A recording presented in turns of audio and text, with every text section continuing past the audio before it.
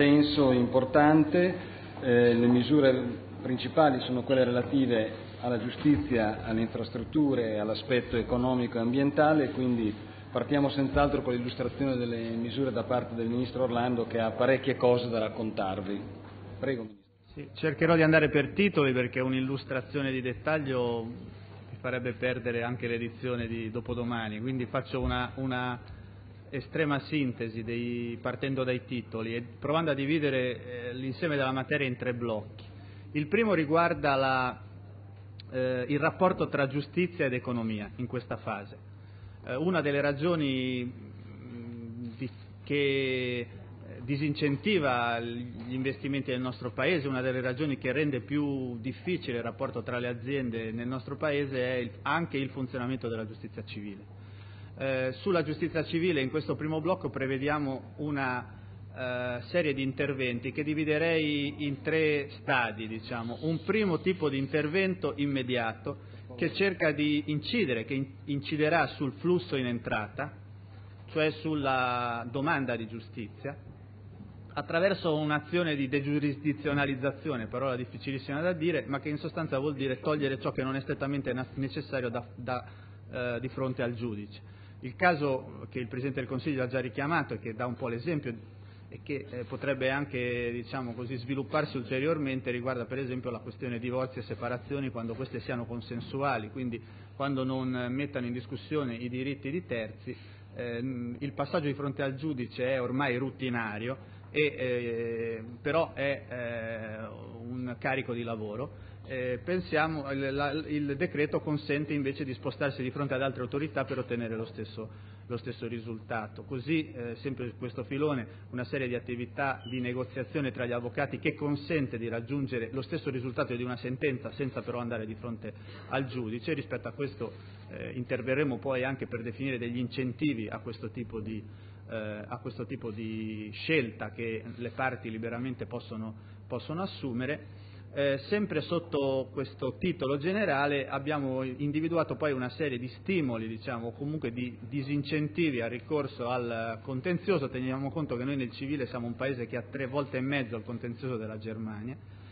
ehm, e cioè per esempio la, una scelte diverse sulla compensazione delle spese, quindi diciamo, un disincentivo per le, eh, per le cause temerarie,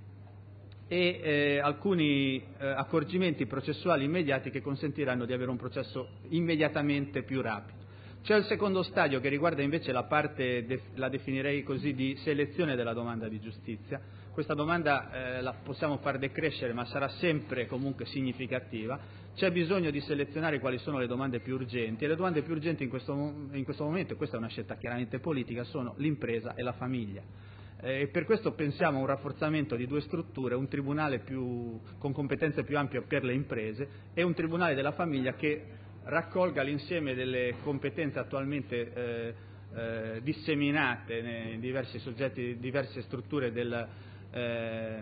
giudiziarie e eh, dia alla famiglia appunto un'interlocuzione unica, un riferimento unico per quanto riguarda il contenzioso. Eh, il terzo stadio, diciamo, più di prospettiva, riguarda una riforma e un'armonizzazione del processo civile eh, per il quale è prevista una delega nel quale sono indicati alcuni principi di carattere eh, generale. Abbiamo scelto di dividere così la materia per evitare interventi spot che in questi anni ci sono stati ma hanno prodotto spesso più danni che eh, benefici nell'andamento del processo, civile. Eh, sempre sotto il capitolo giustizia e economia, eh, l'altra riflessione è questa, in una fase come questa di grave crisi aumenta il rischio di infiltrazione di capitali illeciti, aumenta il rischio di un utilizzo opaco dei bilanci, da questo punto di vista abbiamo ritenuto eh, necessario intervenire con la reintroduzione di due reati, con l'introduzione di un nuovo reato e la reintroduzione di un reato che esisteva già ma che è stato fortemente depotenziato, cioè l'autoriciclaggio e il falso in bilancio. Seconda, secondo blocco di questioni riguarda il tema del eh, funzionamento del, dell'ordinamento giudiziario. A questo punto di vista, eh, su questo punto, nei nostri 12 punti avevamo messo anche altri obiettivi che non sono abbandonati mi riferisco alla riforma del CSM, ma che sono in questo momento in attesa di un'interlocuzione con il nuovo CSM che si insedierà nelle prossime settimane. Intanto però abbiamo portato a termine alcuni dei punti che erano indicati, il più rilevante credo sia quello che riguarda la responsabilità civile dei magistrati. Che cosa cambia? Eh, cambia il fatto che non c'è più un filtro per l'accesso a questo tipo di ricorso, che sostanzialmente, direi così, si era trasformato più che in un filtro in un tappo che aveva impedito sostanzialmente una, valutazione di merito dei diversi ricorsi che in questi anni eh, sono stati fatti su questo punto. Eh, si rafforza l'automatismo sulla rivalsa una volta che c'è una condanna nei confronti dello Stato, la responsabilità è sempre indiretta, ma eh, nel momento in cui lo Stato viene condannato a risarcire il danno c'è un automatismo più forte rispetto all'attuale normativa. Terzo punto qualificante, c'è un aumento della rivalsa sul magistrato dal 30 al 50%. Questo diciamo, è eh, eh, il punto più qualificante di questo blocco, accanto a questo non,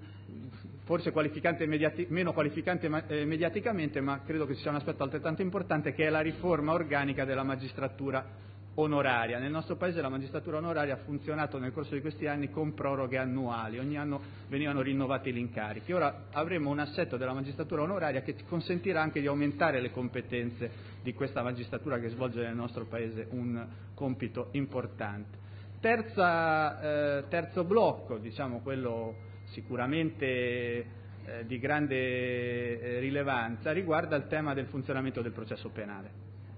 In questo caso eh, abbiamo eh, scelto di intervenire per cercare di semplificare il processo penale e quindi snellire l'iter che porta al giudizio finale, attraverso alcuni interventi sull'udienza preliminare, attraverso alcuni interventi eh, che riguardano eh, alcuni altri passaggi eh, del eh, processo eh, nel suo insieme, attraverso alcuni meccanismi eh, che mirano, c'è una delega specifica su questo, a razionalizzare l'utilizzo del ricorso in appello. Non a comprimere naturalmente le garanzie, ma a cercare di dare un ordine in qualche modo a, un utilizzo che spesso ha finalità dilatorie del ricorso in appello. A fianco di questo incentivando anche alcune eh, convenienze, tra virgolette, processuali, cioè eh, per esempio riconoscendo eh, la possibilità di sconti di pena per chi confessa anche reati di carattere grave, a, patto che naturalmente poi rispetto a questa pronuncia non ci sia la possibilità di, appello e di ritornare su questo. Abbiamo parlato diciamo, di un patteggiamento, maxi patteggiamento o confessione sostanzialmente con pena con pena eh, che viene definita in rapporto con, eh, il giudice. Eh, la, ter- eh, la, terza, c'è anche una procedura di estinzione del reato che riguarda i reati di minore entità quando ci sia una condotta di carattere riparatorio, stiamo parlando diciamo, dei reati contro il patrimonio, naturalmente non quelli contro la persona, quando in qualche modo siano di lieve entità e possano essere risarciti anche eliminando il danno nei confronti della vittima. Um, un punto importante di questo terzo blocco, anche diciamo, per la storia di questi anni, riguarda la prescrizione. Sulla prescrizione eh, il Consiglio dei Ministri ha condiviso la proposta che ho avanzato, cioè quella di eh, interrompere la prescrizione al primo grado di giudizio nel, nel momento in cui eh, c'è una sentenza di condanna. Eh, questo a nostro avviso eh,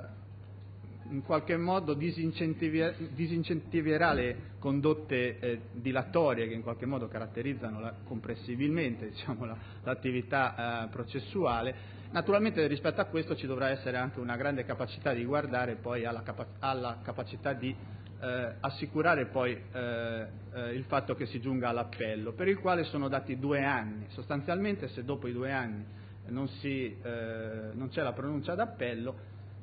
la prescrizione ricomincia a eh, correre. Eh, ricomincia a correre eh, recuperando anche quella precedente nel caso in cui la sentenza di appello poi sia di assoluzione, quindi con un'est- un'estensione della presunzione eh, eh, di non colpevolezza. questo è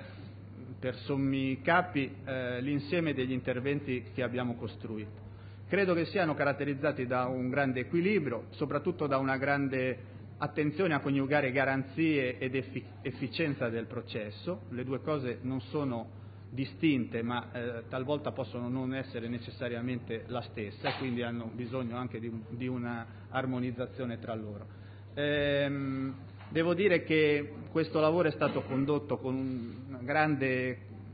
lavoro di, ascolto, di, di, confronto con tutti i soggetti della giurisdizione, eh, con anche le categorie produttive, eh, abbiamo coinvolto anche le associazioni economiche nel, e il sindacato nella costruzione per esempio della parte che riguarda la giustizia e l'economia. Eh, penso che eh, il Parlamento potrà operare positivamente su questo eh, insieme di, di, proposte, naturalmente è molto importante che si conservi l'equilibrio che in qualche modo eh, caratterizza questo, questo intervento di riforma, di riforma nel, suo, nel, suo, insieme. Ehm, mi pare di poter dire che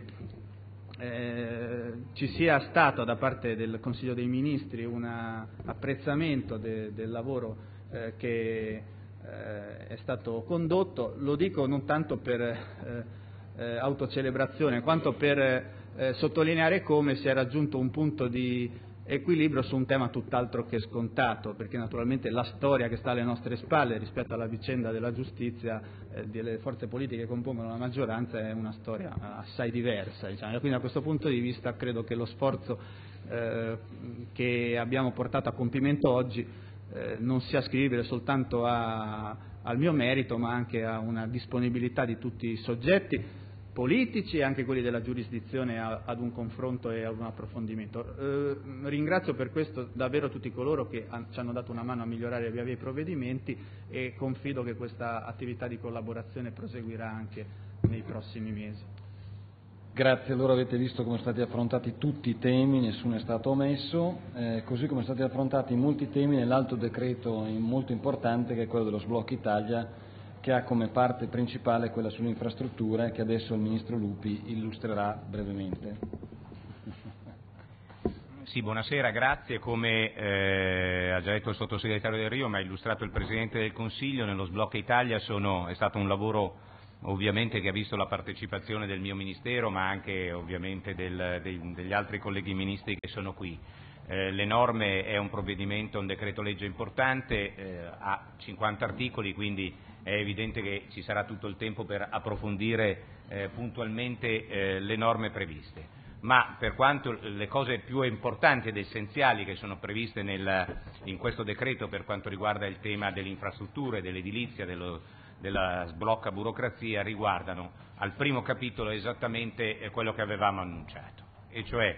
il primo articolo contiene e si pone un obiettivo molto semplice. Ci sono opere fondamentali per il Paese che sono finanziate e che eh, senza un intervento di semplificazione, sburocratizzazione, accelerazione eh, dei lavori rischiano di partire eh, solamente eh, nel 2018 nel 2019. Abbiamo identificato queste opere, abbiamo identificato in particolare due opere che sono fondamentali per l'infrastrutturazione del Paese. La prima è l'alta velocità, alta capacità Napoli-Bari, eh, 4 miliardi e 400 milioni di euro già stanziati per quest'opera, mm, costo complessivo dell'opera 6 miliardi e 170 milioni di euro, eh, la seconda è la Palermo-Messina-Catania. L'individuazione di queste due opere non è casuale, sia per la loro strategicità sia per la, la posizione geografica che rivestono all'interno di un Paese che deve strutturarsi in particolare sul ferro, sull'alta velocità e sull'alta capacità, eh, in tutta la sua eh, complessità e globalità. Eh, l'articolo prevede eh, che, eh, ed è la grande novità di questo, di questo, decreto in materia infrastrutturale, che eh, i cantieri devono aprire per queste due, dovranno aprire per queste due opere il primo novembre del 2015. Per fare questo, quindi dal 1 novembre del 2015, non devono essere appaltate le opere, devono essere aperti i cantieri per la realizzazione della Napoli-Bari e della Palermo-Messina-Catania. Per far questo è previsto uno strumento straordinario che è la nomina, con poteri ovviamente eh, straordinari connessi eh, a questa nomina, di eh, commissario all'amministratore delegato delle del gruppo delle Ferrovie dello Stato. Troverete poi ovviamente nell'articolo 1 nella, nella norma il dettaglio e eh, la modalità con cui eh, questo potrà avvenire. Sono previsti tempi certi, 90 giorni per eh, l'approvazione definitiva dei, dei, progetti, 90 giorni per l'assegnazione dei cantieri, eh, procedure, conferenze di servizi, semplificazioni. Obiettivo scritto in legge, quindi non teorico, è la data 1 novembre 2015. Sempre all'interno, solo con questo eh, con questo provvedimento vedete, si sbloccano e si dà certezza non solo di realizzazione di quest'opera, ma le risorse che sono stanziate e destinate per la realizzazione di quest'opera che ovviamente avverrà nei 4-5 anni successivi, ma finalmente in continuità. Eh, oltre 10 miliardi di euro complessivamente è il costo di realizzazione per queste due opere. Eh, sempre in questo articolo, senza assegnazione di risorse, ma sul tema della sburocratizzazione, abbiamo affrontato l'altro tema strategico eh, che riguarda le infrastrutture, la sfida infrastrutturale del nostro Paese, che è il tema degli aeroporti e degli aeroporti di interesse nazionale e degli aeroporti che hanno contratti di programma già approvati. Eh, risorse e finanziamenti già stanziati per la competitività dell'aeroporto, per l'ampliamento del, dell'aeroporto, ma per n problemi di tipo burocratico, di approvazione dei piani, eccetera, vedono l'impossibilità di eh, poter partire nella realizzazione dei loro lavori. Eh, un comma del, dell'articolo 1 dà la possibilità, sia da un punto di vista procedurale, sia da un punto di vista dell'approvazione dei contratti di programma, di partire rapidissimamente e di sbloccare le risorse che sono connesse a questo sistema aeroportuale, che avete sentito il Presidente del Consiglio eh, quantifica e valgono circa 4 miliardi di euro. Per quanto riguarda invece un altro, eh, abbiamo poi eh, ulteriormente semplificato l'accesso per quanto riguarda tutte le opere che possono accedere alla legge sulla defiscalizzazione. Eh, che eh, è in vigore nel nostro Paese e che aveva l'assoluta necessità di essere molto chiara e quindi nell'articolo 2 trovate eh, il contenuto di questa, norma che abbasserà ulteriormente da 200 milioni a 50 milioni di euro il tetto per cui opere strategiche per lo Stato realizzate da privati possono accedere eh, alle norme sulla defiscalizzazione. La seconda parte del, del provvedimento riguarda invece eh, opere che rientrano all'interno del, del, disegno strategico del complessivo di infrastrutturazione del Paese. Non abbiamo affrontato tutte le opere, non è che le opere che qui non sono segnate sono escluse o non si realizzeranno più, anzi, perché ci sarà poi la legge di stabilità che prevederà esattamente nella loro continuità la, eh, l'individuazione e la realizzazione delle opere strategiche, ma che avevano questa e che hanno questa caratteristica. Stanziando delle risorse possono immediatamente continuare i cantieri, o essere appaltate, ed è questa anche qui la grande novità, entro il 31 dicembre 2014, non appaltate e cantierate, pena il ritiro dello stanziamento che è stato previsto, 31 dicembre 2014, 30 giugno 2015, 31 agosto 2015. In dieci mesi abbiamo stanziato 3 miliardi 820 milioni di euro eh, per realizzare e per dare il via libera in dieci mesi a, eh, a queste opere. Quali sono queste opere e quale criterio hanno seguito? Hanno seguito innanzitutto un criterio di priorità riguardo alla sfida principale che avevamo, che era quella dei grandi nodi metropolitani, delle aree metropolitane e dei grandi nodi logistici. E questa è stata la prima priorità che ci siamo dati. Quindi il sistema metropolitano in, eh, in italiano delle grandi aree metropolitane che tra l'altro si andranno a costituire come città metropolitane è stato eh, finanziato proprio per permettere o l'attivazione dei cantieri o la prosecuzione dei cantieri, in particolare la linea C eh, di Roma, il completamento della copertura del passante ferroviario di Torino e eh, la, eh, l'intervento sulla rete sempre della linea metropolitana prima fase di eh, Torino, la metrotranvia di Firenze, la eh, metropolitana di Napoli, il eh, quadruplicamento da questo punto di vista anche su un'attenzione sul trasporto su ferro della ferrovia Lucca-Pistoia, eh, un intervento che ci è stato segnalato molto importante per la città di Roma proprio per il collegamento aeroporto e centro, e centro città, a proposito di collegamenti infrastrutturali, che è il eh, ponte stradale di collegamento per l'autostrada tra Fiumicino e Leur, dove si concentra il massimo della, eh, della concentrazione del traffico e dell'inefficienza eh, nel rapporto, per chi conosce Roma vicino allo Sheraton per, per capirci. eh, e infine il, eh, il, sistema, come ho già detto prima, eh, del, degli aeroporti. Abbiamo poi eh, suddiviso le altre opere, l'elenco lo troverete ovviamente nel dettaglio, per quanto riguarda i eh, temi degli eh, assi ferroviari strategici, cito solo tre, eh, tanto per passare poi agli altri eh, ovviamente eh, argomenti che abbiamo trattato, che sono quelli che avevano bisogno di risorse puntuali per proseguire nei lavori. La Brennero, il terzo valico, l'alta velocità Brescia, Verona-Vicenza, Padova.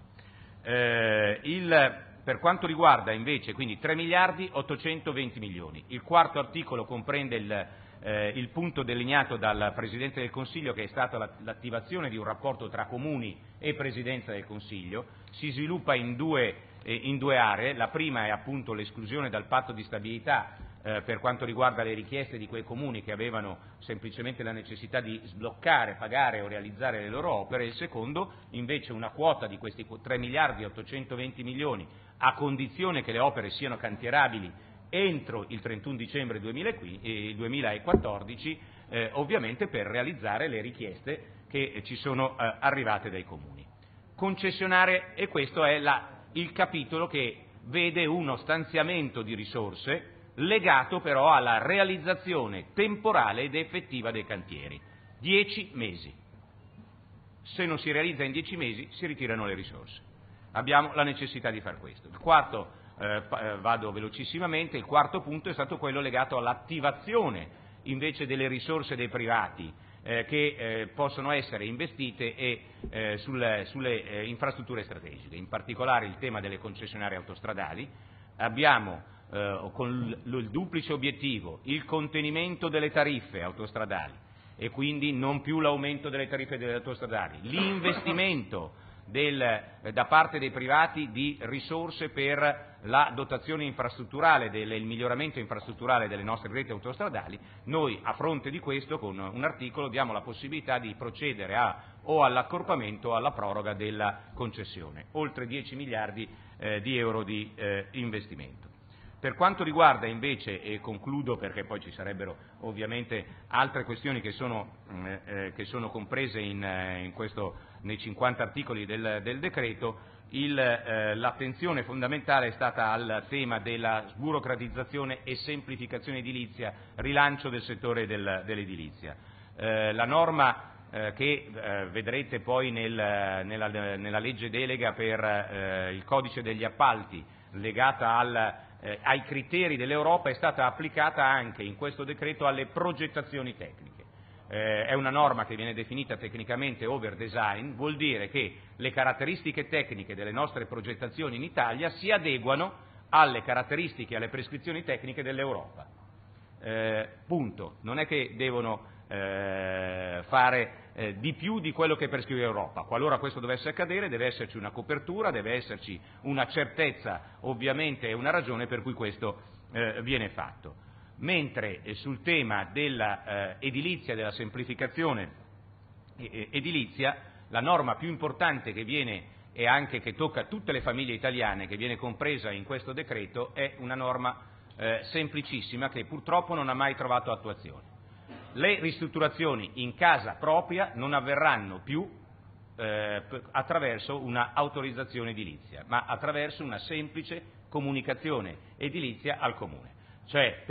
Spostare una, una parete per fare la camera, ovviamente non per aumentare i volumi, ovviamente non per costruire eh, altre case, ma tutte le ristrutturazioni che riguardano il proprio appartamento avverranno con una semplice comunicazione, quindi non con un'autorizzazione, da parte della famiglia e del cittadino all'amministrazione eh, comunale. E immediatamente il cittadino ha diritto di fare tutti i lavori che vuole in casa propria, non ha più bisogno del... Mi sembra che questo sia il segnale più importante, e concludo, che noi possiamo dare, possiamo mettere tante risorse come dobbiamo mettere nelle infrastrutture con tempi certi, eccetera. Ma la principale segnale che dobbiamo dare nel nostro Paese per le grandi opere, le piccole opere, ma per tutta l'attività delle famiglie e dei cittadini è quella di liberarci, nel rispetto ovviamente delle norme e delle leggi, dalla, eh, da, in, eh, buro, passi burocratici e impedimenti burocratici che fanno solo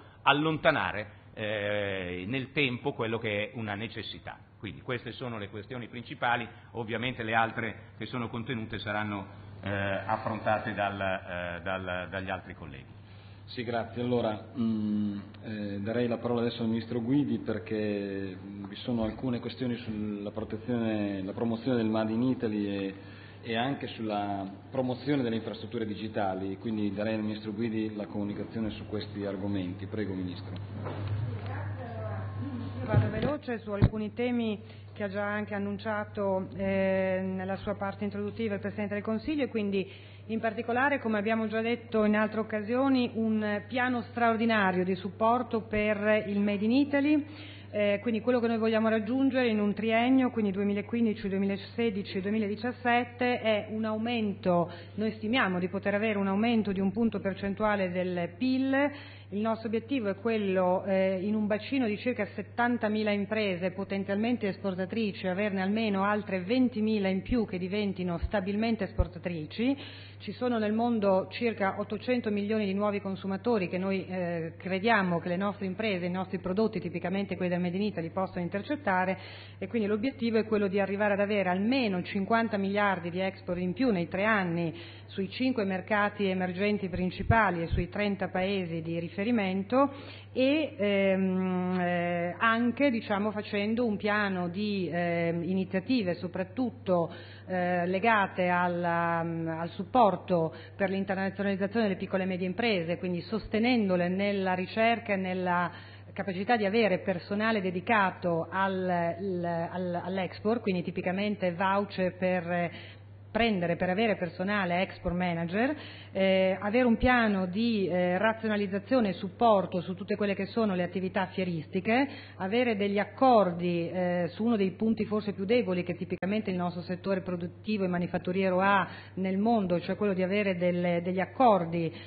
forti e privilegiati con le principali catene distributive mondiali e ehm, naturalmente promuovere quindi il Made in Italy nelle sue più varie forme. E a questo proposito devo ringraziare anche il collega, il Ministro Martina, perché tutto questo naturalmente verrà fatto anche con una particolare attenzione e eh, naturalmente eh, insieme al Ministero delle Politiche Agricole per quello che riguarda la parte dell'agroalimentare, quindi il 2015 sarà naturalmente un anno eh, molto importante soprattutto per utilizzare l'importante volano che naturalmente l'Expo ci darà e con la realizzazione di un segno distintivo unico proprio per le produzioni agricole e naturalmente agroalimentari e quindi per favorirne la produzione all'estero e per utilizzare ehm,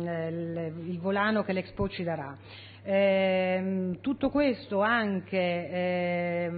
tenendo conto di un'azione molto importante che noi crediamo sia oggi molto utile fare soprattutto sui mercati internazionali di contrasto a quello che viene definito l'Italian sounding e tutto quello che è in qualche modo un riferimento improprio diciamo alle produzioni italiane portando naturalmente fuori e quindi cercando di eh, aggredire il più possibile questi mercati internazionali, noi crediamo oggi molto importante razionalizzare e far confluire formalmente la capacità di attrarre invece gli investimenti esteri nel nostro Paese su ehm, ICE e quindi eh, cercheremo di razionalizzare meglio la sua capacità non solo di eh, aiutare le aziende a internazionalizzarsi ma soprattutto anche di intercettare. Noi crediamo almeno 20 miliardi di nuovi investimenti che dall'estero noi siamo convinti potranno arrivare a localizzarsi in, eh, in Italia. Naturalmente nell'ambito del piano ci sono poi anche l'utilizzo e la promozione di strumenti come ad esempio l'e-commerce e quindi piattaforme diciamo, multimediali e quindi tutta una serie di, azioni dettagliate che magari poi lasceremo a, momenti successivi perché vengano eh, spiegate meglio. Eh, altro tema che riguarda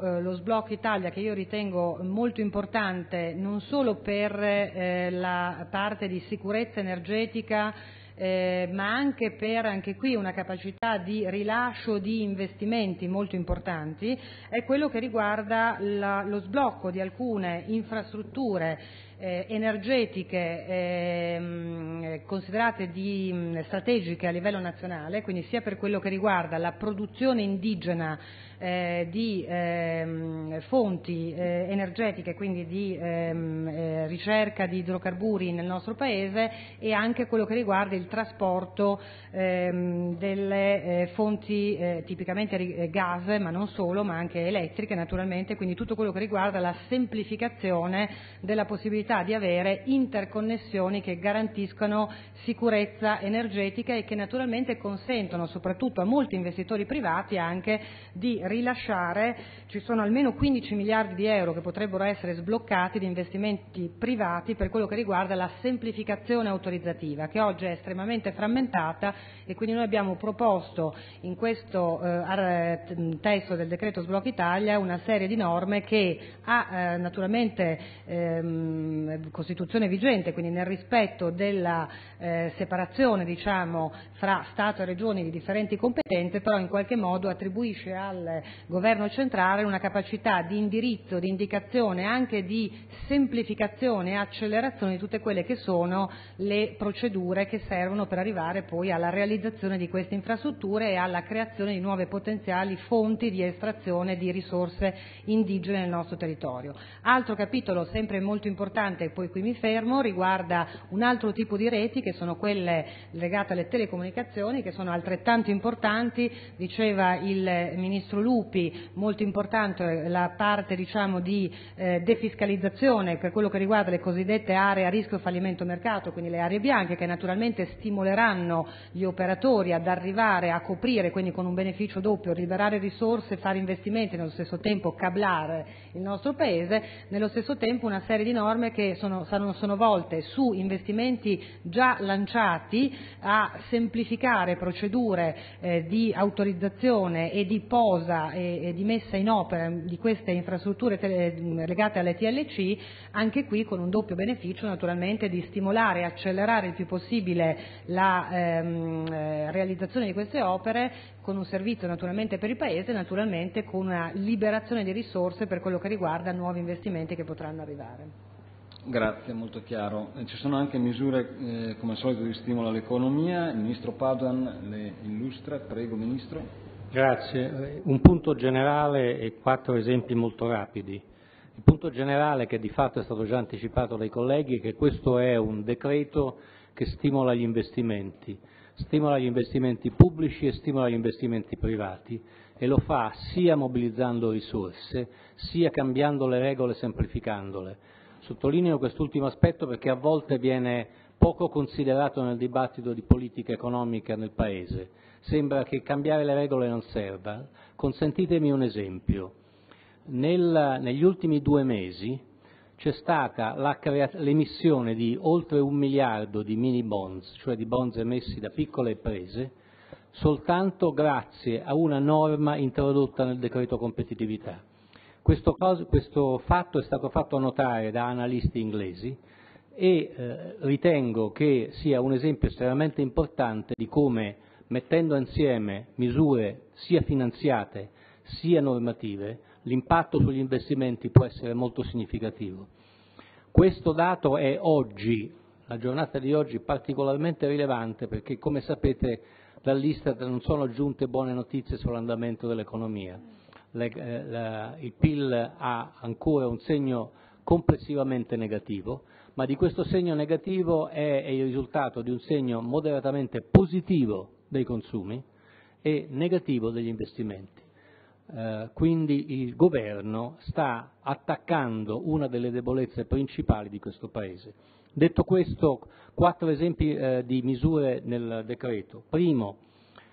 eh, misure volte ad estendere il perimetro di azione sia in termini di eh, dotazione di, di capitale eh, mobilizzabile sia in termini di settori di intervento della Cassa depositi e prestiti, quindi di un investitore a lungo termine che va esattamente nella direzione che dicevo. Secondo, nuove misure di finanza per la crescita, dello stesso tipo, diciamo così, di quelle del decreto competitività, in particolare atte a facilitare l'emissione di project bonds, che di nuovo potrebbero essere estremamente importanti per l'investimento a lungo termine Il settore immobiliare, ne ha già parlato il Ministro Lupi, misure volte a facilitare l'attività delle società immobiliari quotate, renderle dei veri e propri fondi immobiliari, anche allo scopo di valorizzare l'importantissimo patrimonio immobiliare pubblico di cui molto si parla ma poco si sa. È una iniziativa del Governo e del Ministero quella di spingere in questa direzione. Infine, ho finito, una misura che fa parte di questo decreto, forse non è strettamente legata agli investimenti, ma è importante per lo sblocco del Paese, il rifinanziamento della cassa integrazione in deroga in un articolo del decreto.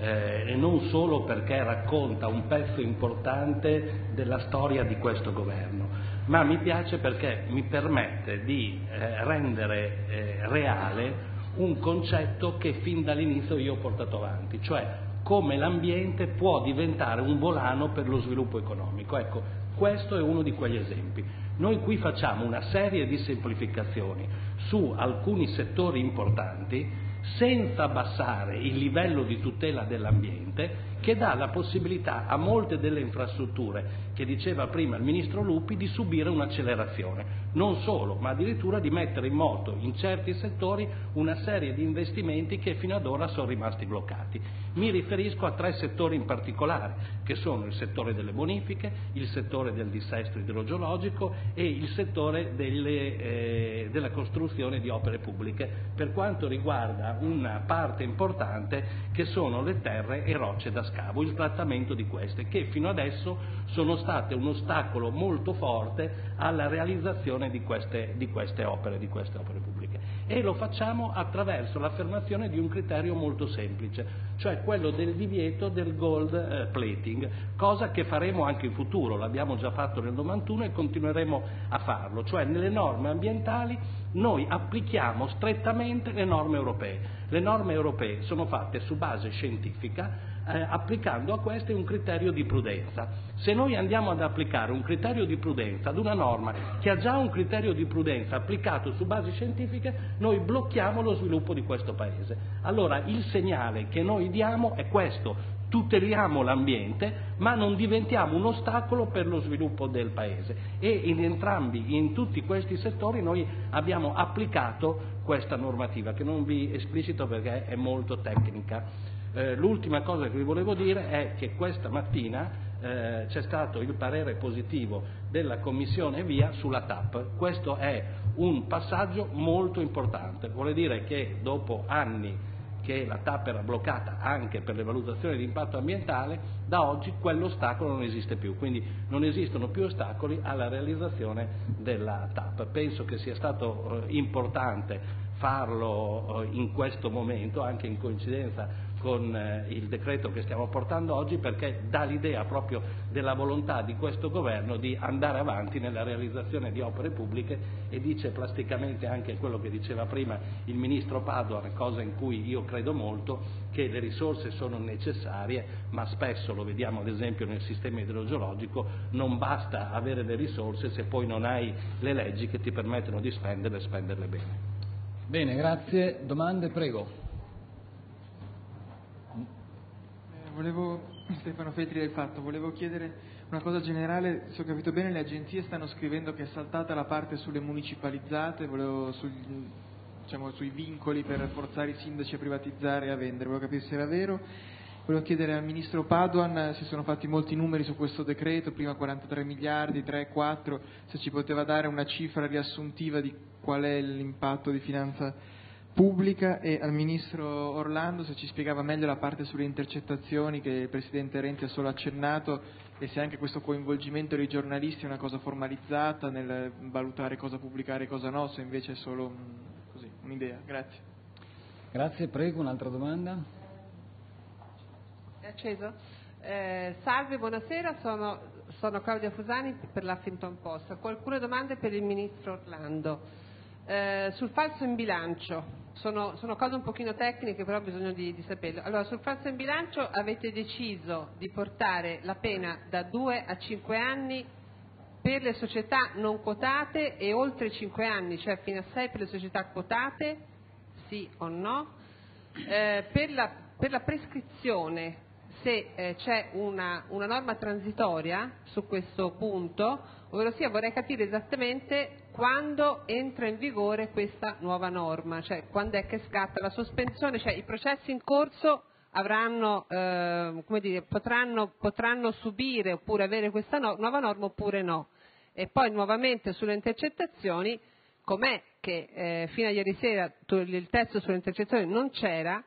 invece adesso è spuntato nel Consiglio dei Ministri un disegno di legge delega sulle... Cioè cosa è successo? Grazie sono tre domande. Prego, prego. No, no, dico, sono tre domande in una. Silvia Gasparetto dell'ANSA, una domanda per il Ministro Lupi o per il Ministro Padoan. Eh, nelle bozze dello Sblocca Italia si era parlato di incentivi per chi affitta, comprava casa e affittava canone concordato e anche di stabilizzare barra allargare l'eco bonus. Il Premier ha detto abbiamo un impegno, l'impegno c'è nello Sblocca Italia o arriverà con la legge di stabilità? Grazie, molto bene. L'ultima domanda, prego. O la penultima, se, se ne sono altre. Bene, l'ultima allora. Due domande per il Ministro Lupi. Buonasera da parte di Alfonso Palumbo, Prisma News. Ministro Lupi, una gentilezza. A proposito delle opere eh, aeroportuali, eh, sbaglio, io ho in effetti il messaggio che arriva dal Governo eh, c'è anche l'eventuale raddoppio dell'aeroporto romano di Fiumicino a Maccarese fra le opere ritenute di grande attualità e seconda a proposito del codice appalti, se ho ben capito stesse regole in Italia come in Europa. Purtroppo io ho seguito anche in zona in Val di Susa tutta la querela relativa all'alta velocità, all'accordo italo-francese. Per ciò che riguarda eh, la criminalità organizzata, che vuol dire che staremo meno attenti e useremo per dire il codice francese oppure... Grazie, grazie. Bene, allora rispondo io alla prima domanda del dottor Feltri, la parte municipalizzate sarà eh, affrontata in legge di stabilità in maniera organica, erano pronte alcune norme, ne mancavano alcune altre, abbiamo deciso in Consiglio dei Ministri di affrontarle organicamente, completando il quadro. Questa è stata la decisione del Consiglio. Mi pare che vi siano diverse domande, partirei dal Ministro Padoan che deve una, forse deve dare una risposta rapida rispetto alle potenzialità o al Ministro Lupi, chi vuole parlare della, mi pare sia la quota complessiva. Dunque io rispondo alle due domande specifiche. Sì. Qual è la cifra prevedibile di mobilitazione delle risorse private? La risposta è non lo so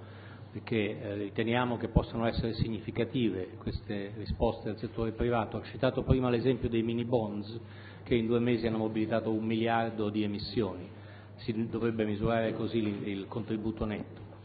Dal punto di vista dell'impatto netto sulla finanza pubblica la risposta è zero, non nel senso che non ci sono spese, perché ci sono risorse, ne parlava diffusamente il Ministro Lupi, per gli investimenti, ma queste sono a piena copertura. Quindi dal punto di vista dell'impatto sulla finanza pubblica non stiamo peggiorando la finanza pubblica, la finanza pubblica rimane dove era prima. Grazie, allora darei la parola al Ministro Lupi e poi da ultimo al Ministro Orlando se consenti così diamo una risposta tematica. Prego. Per quanto riguarda eh, il tema delle eh, casa, eh, nel senso che c'è un intero capitolo sulla semplificazione edilizia, rilancio dell'edilizia e casa. Le ristrutturazioni è un obiettivo che anche in questo Consiglio dei Ministri la proroga delle ristrutturazioni per quanto riguarda l'ecobonus è stato ribadito, le ristrutturazioni hanno una eh, sono valide fino al 31 dicembre 2014 nelle modalità con cui le conosciamo, 65%, 50% e quindi il luogo naturale dove trovare la, la copertura per la proroga delle, delle, ristrutturazioni è la legge di stabilità, come è giusto che sia eh, anche all'interno di un progetto più complessivo. Rimangono e sono previste eh, il, forme anche di agevolazione per eh, il, l'affitto eh, o l'acquisto acquisto casa per affitto a canone concordato sulla linea del decreto che avevamo già fatto di incentivazione per quanto riguarda il eh, mercato dell'affitto e il, il eh, mercato in, immobiliare. Sull'aspetto, sulla domanda del mh, codice del delega per il codice eh, degli appalti, eh, gli obiettivi e i principi sono chiarissimi nella delega, tra l'altro una delega, eh, il difetto di tante deleghe è di essere lunghissima, questa è una delega molto stringata, molto chiara e molto netta. La prima dice quella divieto di introduzione e mantenimento di livelli di regolazione superiore a quelli minimi richiesti dalle direttive comunitarie. Poi c'è tutto un tema legato ovviamente al, alla trasparenza, alla pubblicità delle procedure delle gare, all'attenzione anche perché questa riforma avviene per, nei confronti dell'Europa, ma anche dopo una, una serie di, eh, di, dibattiti a seguito dei fenomeni di corruzione che abbiamo avuto nel settore dei lavori pubblici. Noi crediamo, e concludo, che eh, grande lotta verso la corruzione, ma la lotta alla corruzione non si fa con un'ulteriore eh, burocratizzazione, si fa con la certezza delle regole, con la semplificazione delle regole, con uno dei principi che noi abbiamo detto un testo unico, codice dei contratti e delle concessioni pubbliche che stabilisca con chiarezza che cosa uno può fare e che cosa non può fare. L'esempio che ho fatto prima non c'entra ovviamente con la riforma del codice appalti perché diventa ovviamente immediatamente operativo, è che se per spostare una porta devo chiedere 12.000 autorizzazioni, eh, eh, ma se posso spostare una porta in casa mia ovviamente senza modificare la volumetria lo faccio, è casa mia, ho diritto di farlo e non ho nessun problema, dico solo che ho spostato la porta e faccio la comunicazione al comune che l'ho fatta. No? Eh, credo di aver risposto. Poi troverete nel dettaglio l'elenco delle opere, la valutazione dell'impatto, non solo quelle come ha detto il Ministro Padoan, e ho concluso, 3 miliardi 880-890 milioni sono eh, risorse che vengono rese immediatamente disponibili proprio per, dieci, per, i dieci mesi di cantierizzazione. Tutte le altre sono risorse che noi sblocchiamo eh, e che erano bloccate. Tante volte il problema del nostro Paese, anzi troppo spesso, lo sottolinea sempre il sottosegretario Del Rio, il problema dell'Italia non sono tanto le risorse che vengono messe, ma le risorse che vengono assegnate e che non vengono spese. Questa è la prima grande sfida e noi ci, ci facciamo tutti i nostri dibattiti quante nuove risorse aggiuntive mettiamo quante risorse aggiuntive iniziamo a spendere e a spenderle realmente? La grande novità è che avere il coraggio di scrivere 31 dicembre 2014 per il cantiere, 30 giugno 2014, 31 agosto, vuol dire sfidarsi sul fatto che quei 4 miliardi di euro siano effettivamente cantieri che poi vanno a dare impulso alla realizzazione delle opere, ma anche impulso allo sviluppo e alla crescita di un Paese. Questo è l'impianto che c'è stato. Grazie Ministro Lupi, così mi ha evitato anche la mia conclusione, mi ha evitato la sua filippica. Ministro Orlando, no scusi. Sì, la pena è da 3-8 anni dopo poi vi... per, le, per le quotate. Eh, sì. Ecco, ora stiamo lavorando su una, eh, un ragionamento che riguarda la... Eh, il tema della rilevanza del fatto, perché crediamo che sia importante soprattutto per le piccole eh, andare a una scrittura, quindi nel salvo intesa, che consenta diciamo, di, consentire al giudice di apprezzare effettivamente eh, l'impatto che questa violazione ha sull'andamento eh, delle imprese e la trasparenza del mercato. Quindi c'è, c'è, stata una discussione, ora stiamo chiudendo eh, mi dispiace, le, darò una risposta più chiara quando avremo la norma scritta sul, eh, salvo intesa. Dai 3 a 8 anni gli ho spiegato. Eh, dai 3, eh, per le non quotate stiamo lavorando a una definizione della pena, orientativamente credo che si possa utilizzare questo strumento. Ehm, per quanto riguarda la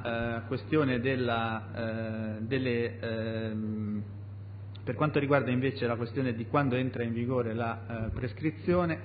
eh, eh, ehm, il nuovo regime della prescrizione, la risposta è dopo la prima sentenza, dopo la sentenza, le sentenze di condanna di primo grado eh, a seguito del vigore della legge, cioè dopo l'entrata in vigore della legge tutte le sentenze di primo grado saranno eh, eh, eh definite dal nuovo regime eh, di prescrizione.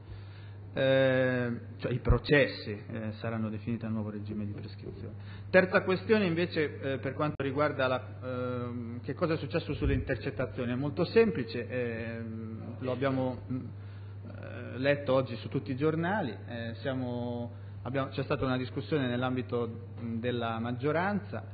eh, ci eravamo assunti un impegno diciamo, che era quello comunque di non scrivere nulla prima di un confronto con i eh, direttori, con gli editori, manteniamo questo impegno perché la scelta che abbiamo fatto è quella di ricorrere a una delega che indica alcuni principi, quindi sul come c'è ampio margine di manovra e possibilità di lavorare. Eh, c'è stata una forza che è l'NCD che ha ritenuto più opportuno diciamo, in una eh, manovra complessiva che tra l'altro diciamo, aumenta la possibilità di utilizzare le intercettazioni perché alcuni inasprimenti di pena consentono, come proprio la domanda precedente ha messo in evidenza, la possibilità di, questo, di utilizzare di più questo, di questo, mezzo anche per reati che oggi non lo, non lo prevedono, c'è stata una richiesta diciamo, di iniziare però a mettere alcuni paletti, cioè incominciare a dire su, su quali basi svolgere questo confronto. In questo senso anche qui si tratta di un passo diciamo, formale perché dal punto di vista sostanziale quali erano i paletti lo avevamo già detto. Noi riteniamo assolutamente eh, necessario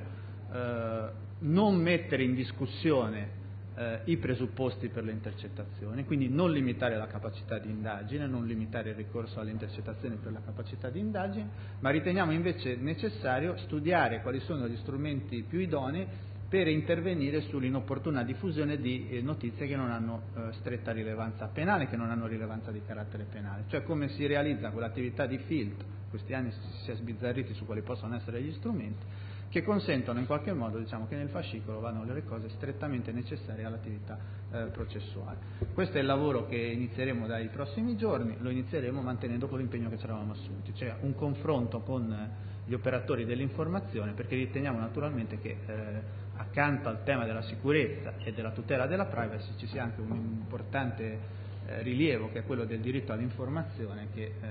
non deve essere in alcun modo eh, compresso. Quindi credo che ci sia diciamo, eh, un fatto nuovo che deriva diciamo, dall'introduzione di un altro titolo nelle cose già che iniziamo a fare dalle prossime settimane, ma la conferma di un impegno che avevamo assunto che è quello comunque di eh, far eh, precedere da un confronto la possibilità di passare poi a, agli articolati. Ehm,